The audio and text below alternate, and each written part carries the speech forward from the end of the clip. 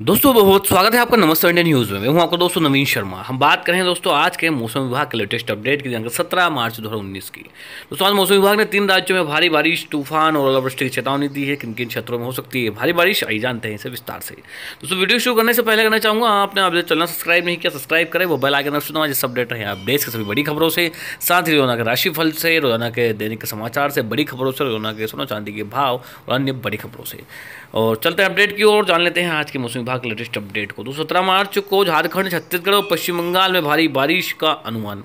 दोस्तों, एक कमज़ोर पश्चिमी विक्षोभ उत्तरी पाकिस्तान और साथ लगे जम्मू कश्मीर पर देखा जा सकता है। ये सिस्टम अपने साथ हल्की बारिश और गरज बौछारें लाएगा। वहीं गुलमर्ग, पहलगाम, श्रीनगर, कुल्लू, मनाली, शिमला, केदारनाथ और नैनीताल में ये मौसम देखा जाएगा। पंजाब, हरियाणा, दिल्ली, राजस्थान और उत्तर प्रदेश में आसमान में बादल छाए रहेंगे। मध्य भारत में एक चक्रवातियों का क्षेत्र विदर्भ और साथ लगे छत्तीसगढ़ पर बना हुआ है। एक ट्रफ रेखा इस के कारण कर्नाटक तक जा रही है। इसके चलते नागपुर, गोंडिया सिद्धि रीवा, सतना और जबलपुर में हल्की बारिश और गरज बौछारे से इनकार नहीं किया जा सकता है। वहीं छत्तीसगढ़ और झारखंड में भी तेज हवाओं के साथ मध्यम से भारी बारिश होने का अनुमान है। दोस्तों, पूर्वी भारत में झारखंड से एक ट्रफ रेखा विदर्भ तक जा रही है। इसके अलावा एक कॉन्फ्लुएंस जोन झारखंड और साथ लगे क्षेत्रों पर देखा जा सकता है। झारखंड के दक्षिण हिस्सों और पश्चिम बंगाल में मध्यम से भारी बारिश और गरज बौछारों होने का अनुमान है।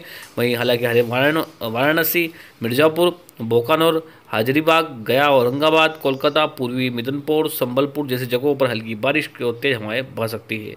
इसके अलावा पूर्वोत्तर भारत में एक चक्रवातियों का क्षेत्र असम से दक्षिण भागों पर नागालैंड, मणिपुर और मिजोरम पर देखा जा सकता है। इस सिस्टम के चलते इन इलाकों में भी हल्की बारिश और गरज के साथ बौछारें हो सकती है। वहीं दक्षिण भारत में शुष्क हवाओं के चलते संपूर्ण भारत में मौसम शुष्क रहेगा। वहीं कर्नाटक, आंध्र प्रदेश, कर्नाटक, तेलंगाना, तमिलनाडु और केरल के हिस्सों में मौसम गर्म बना रहेगा। हालाँकि केरल में एक दो जगहों पर हल्की बारिश से इनकार नहीं किया सकता है। बाकी क्षेत्रों में जैसा पहले मौसम था, मध्य प्रदेश, गुजरात और महाराष्ट्र में जैसा मौसम पहले था, वैसा ही वहाँ पर रहेगा।